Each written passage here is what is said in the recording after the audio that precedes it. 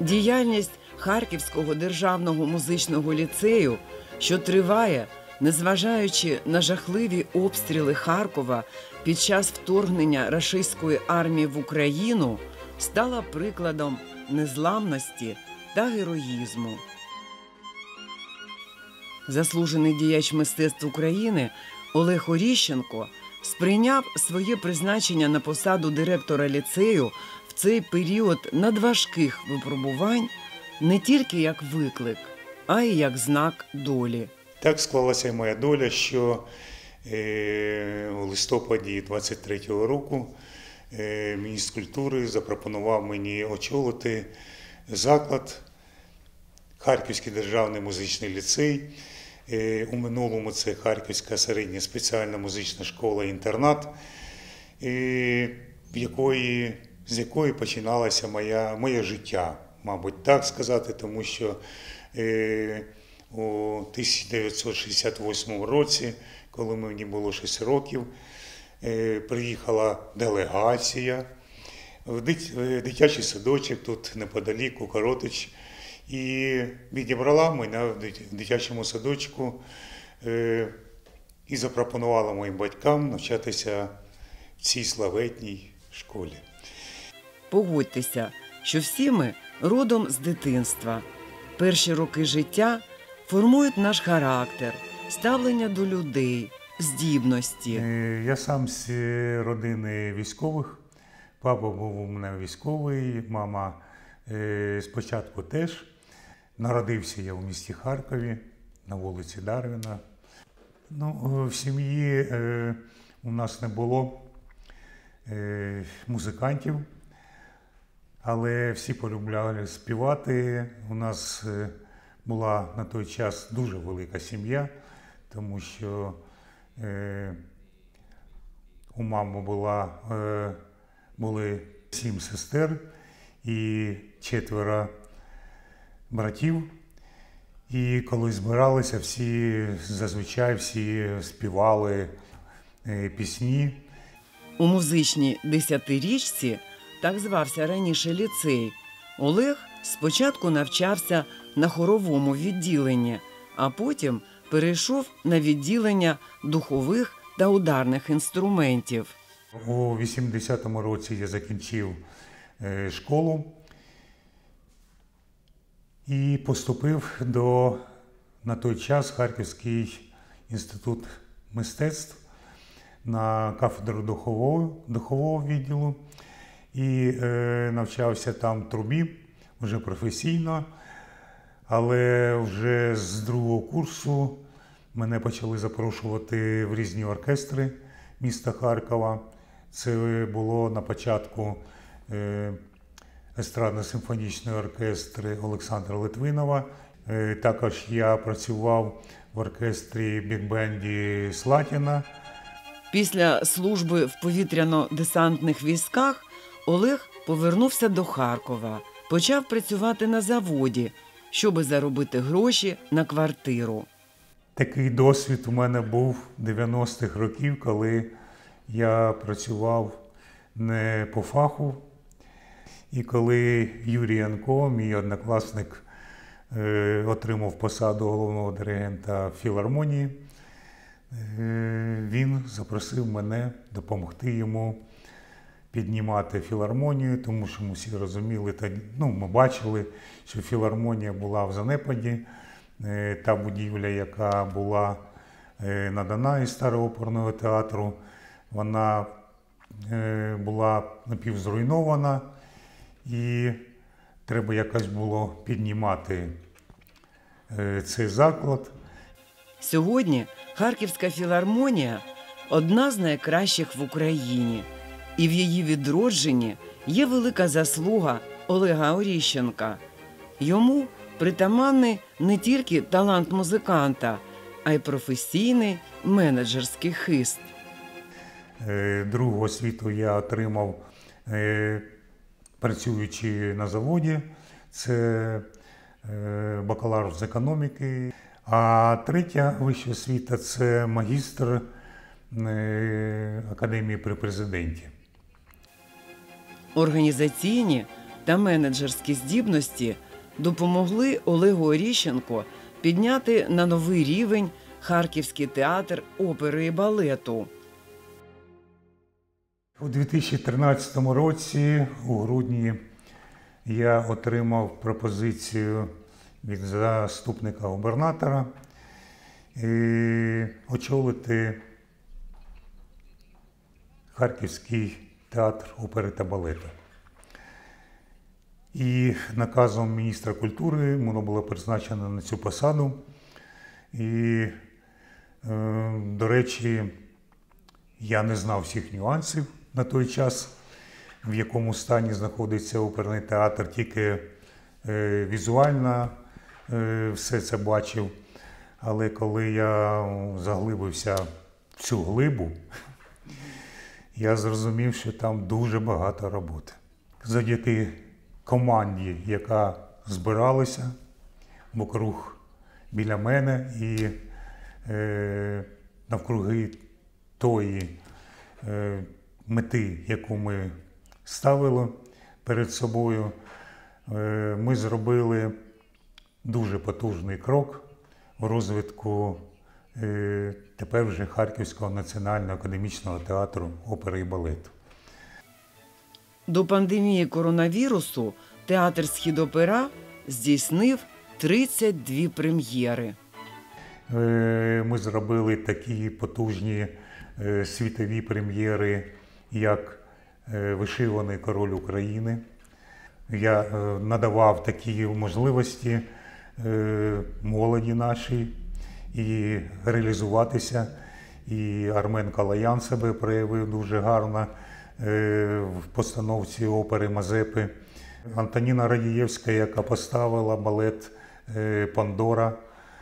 Е, Тобто всі були заохочувані як митці щось зробити таке, щоб відчувалося, щоб вони все ж таки залишили свій е, е, слід в житті е, Харківської, те- Харківського театру опери та балету.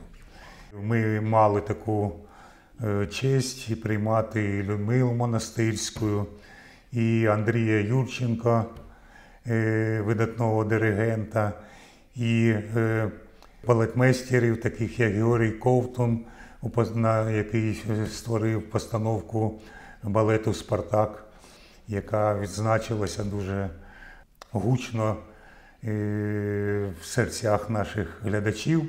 Ми почали робити е, концерти Просто неба на притеатральній площаді і проводити вистави е, в літній час. Зробили такі потужні фестивалі, як е, Опера, е, е, Summer Fest, літній фестиваль. Сьогодні прекрасні довоєнні часи діяльності Східопера згадує народна артистка України Світлана Коливанова. Я очень рада, что так судьба как-то сложилась у меня, что я определенный период времени в оперном театре работала под руководством Олега Владимировича. И действительно, вот тот период времени как-то для меня показался очень таким э, благостным. Я чувствовала себя под руководством Олега Владимировича. Во-первых, всегда э, человек очень был доступный. Всегда можно к нему было зайти, если что-то мне нужно выяснить, поговорить.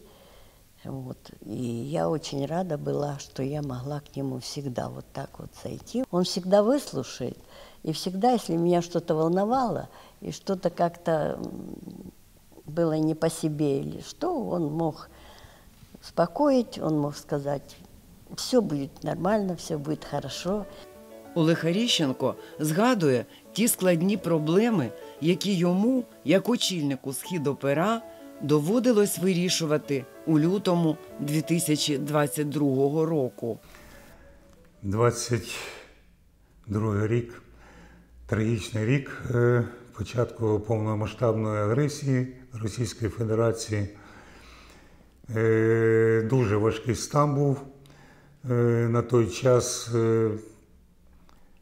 але ми спромоглися все ж таки е, налагодити контакт з усіма нашими співробітниками 100%. Ми знали, хто де знаходиться, і е, вже в квітні ми почали е, планувати виїзд нашого театру, нашої трупи за кордон. З Харкова виїхала 71 людина, а до міста Львов, де нас чекали автобуси, вже доїхали 250, включаючи 28 дітей, включаючи е, членів родин і 145 працівників театру. Першою країною, яка прийняла трупу харківських артистів, стала Литва.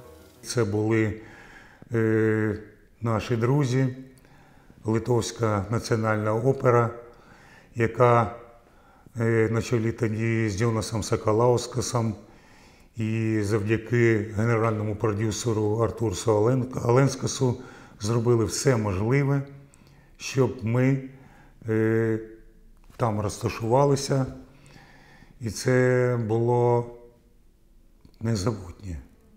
Олег Оріщенко зворушено розповідає про тих людей, які стали друзями театру під час війни.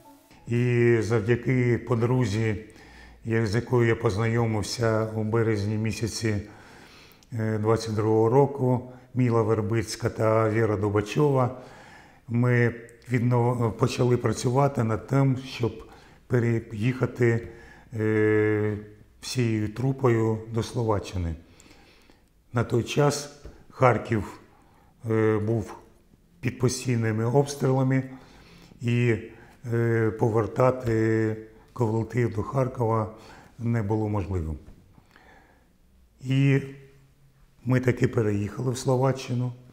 Це місто Габчиково, яке прийняло нас і надало е, тимчасовий притулок. З цього міста ми почали е, відтворювати культурну дипломатію по всій Європі. І е, це були країни, починаючи з Сицилії, з Палермо, Рим, Італія, Ватикан, в якому ми зробили дуже потужні концерти, е, і на якому презентували монету і монетного двора е, Ватикана на підтримку України.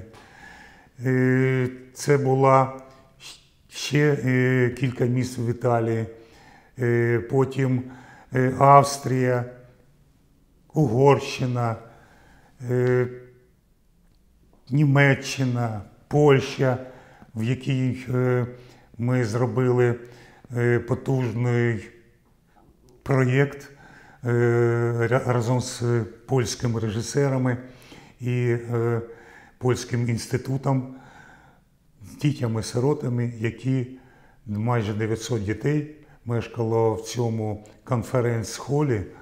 Е, З усієї України з'їхались. Олег Оріщенко став лідером української культурної дипломатії в Європі. Культурна дипломатія під час війни відіграє дуже важливу роль.